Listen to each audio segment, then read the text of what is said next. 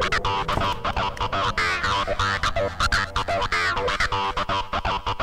say this to you tonight.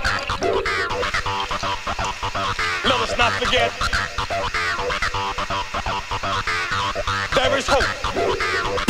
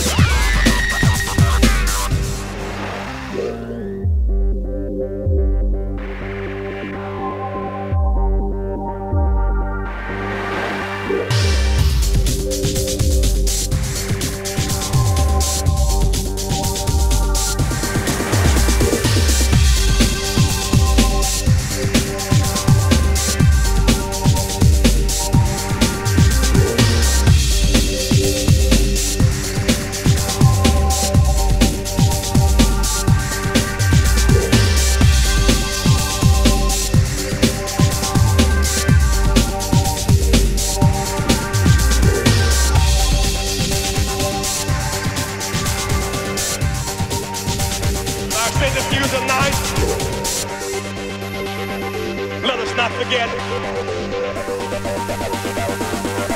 There is hope.